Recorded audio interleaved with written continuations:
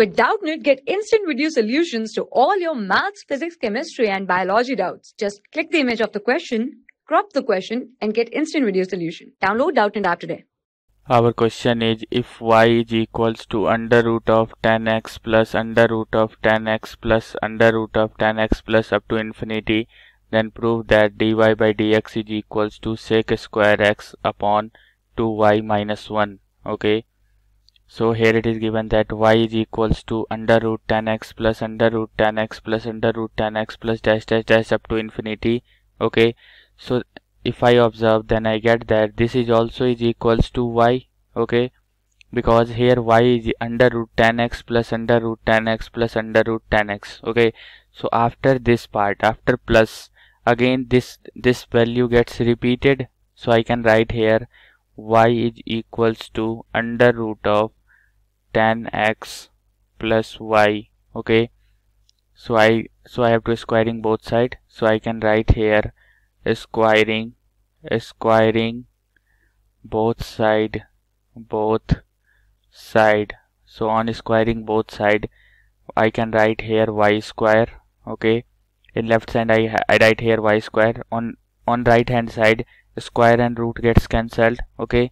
So the remaining part is tan x plus y okay? And then I have to find dy by dx. So I write here differentiating differentiating both side both side with respect to x okay? So on differentiating y square I get 2y into the differentiation of y is dy by dx okay? Is equals to we know that differentiation of tan x with respect to x is equals to sec square x. So I can write here the differentiation of tan x with respect to x is sec square x plus the differentiation of y y with respect to x is dy by dx. Okay? So I can write it as I can write it as 2y into dy by dx so here it is in plus. So if I write it in right left hand side this can be written as minus dy by dx is equals to sec square x. Okay? From here I can take dy by dx as common. So the remaining part is 2y minus 1 is equals to sec square x. Okay?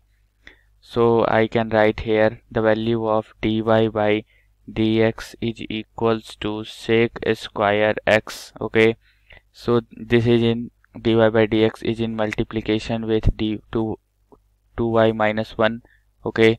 So if I write it in right hand side so this will go in division so I can write here divided by 2y minus 1 okay? So I have to prove it. dy dy by dx is equals to sec square x upon 2y minus 1 okay? So this is the same value so I write here approved okay so thank you For class 6 to 12, IIT JEE and NEET level. Trusted by more than 5 crore students. Download Doubtnut app today.